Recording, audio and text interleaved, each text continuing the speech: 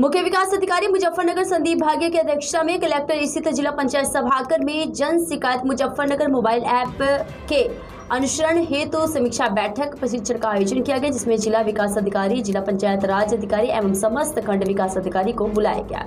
जनपद के ग्राम पंचायत में बता दी की निवासरत व्यक्तियों की मूलभूत सुविधाओं के के प्रति आ रही समस्याओं को लेकर निस्तारण हेतु जन शिकायत मुजफ्फरनगर एक जियो बेस्ट आधारित एंड्रॉयड मोबाइल ऐप का उपयोग किया जा रहा है, जिस पर प्राप्त शिकायतों के निस्तारण में सचिव एवं संबंधित उप जिलाधिकारी के स्तर पर की जा रही समस्याओं का निदान पर विस्तार विमर्श विचार विमर्श किया गया और मुख्य विकास अधिकारी ने उपस्थित अधिकारीगण से उनके सामने निस्तारण में आने वाली सभी समस्याओं की जानकारी लेते हुए समाधान बताया और एक साथ सभी अधिकारीगण को एक बार फिर से इस मोबाइल ऐप का प्रयोग करने के लिए प्रशिक्षण दिया गया, ताकि भविष्य में उन्हें इस ऐप के माध्यम से प्राप्त होने वाली शिकायतों को निस्तारण में लंबन ना हो और समय पर समस्या का निस्तारण किया जा सके। प्राइम के चैनल के लिए पवन अग्रवाल मुजफ्फरनगर। जो ग्राम पंचायतों में ओडीएफ प्लस की धनराशि आई है, उसमें हमारे सचिव लोग तो जुटे पड़े हैं, काम कर भी रहे हैं, लेकिन जनता की भी ज़िम्मेदारी है कि जो साफ़ सफ़ाई के लिए पैसा आ रहा है, वो व्यर्थ ना हो जाए।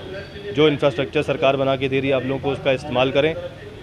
कूड़ा अगर बाहर फेंकेंगे तो फिर कोई मतलब नहीं रह जाएगा इतने अच्छे कार्यक्रम का। कूड़ा उसी कूड़ेदान में फेंकें। आपके घर में आपके घर से कूड़ा कलेक्ट करने के लिए व्यक्ति आएगा तब तक उसको घर में जो सॉलिड कूड़ा है उसको रखें आप लोग। मेरा माटी मेरा मेरा गाँव माटी मेरा मे, मेरा माटी मेरा देश जैसा कि आप जानते हैं एक इंपॉर्टेंट परिकल्पना है।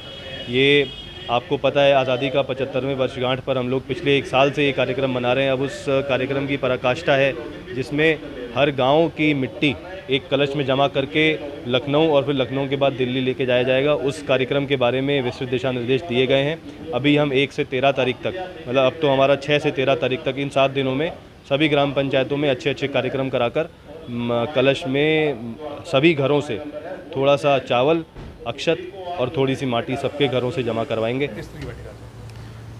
देखिए इसमें प्रतिमा हम लोग जितने भी हमारे विभागीय अधिकारी हैं उसमें कर करेत्तर से संबंधित और राजस्व कार्यों से संबंधित हम लोग समीक्षा करते हैं, जिलाधिकारी महोदय की अध्यक्षता में।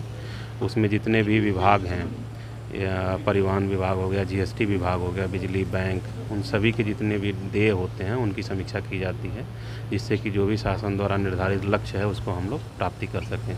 इसके अतिरिक्त, जो भी राजस्व विभाग के काम होते हैं परिषद के द्वारा जो भी निर्देश दिए जाते हैं उसको भी हम लोग जितने भी हमारे एस और तहसीलदार हैं चकबंदी विभाग के जो एसओसी हैं उनके माध्यम से हम लोग उनकी प्रगति की समीक्षा करते हैं। और जहाँ पर जो भी अगर कोई कमी नज़र आती है तो उन अधिकारियों को हम मनरेगा को लेकर बैठक हुई किस तरह के दिशा निर्देश दिए गए नरेगा में हर ग्राम पंचायत में दो दो अमृत सरोवर पे काम होना है। वाटर सिक्योरिटी के लिए बहुत ज़्यादा इंपॉर्टेंट है। अपने जनपद में दो ऐसे ब्लॉक हैं जहाँ पर वाटर की समस्या है, कुछ ऐसे ब्लॉक हैं जहाँ पर पानी के ओवरफ्लो की समस्या है। सारी चीज़ें नरेगा में तालाब बनाने से सॉल्व हो सकती हैं। तो मैंने निर्देश दिया है कि 20 दिनों में अच्छे तरीके से स्पीड में सभी तालाबों के ऊपर काम हो जाए।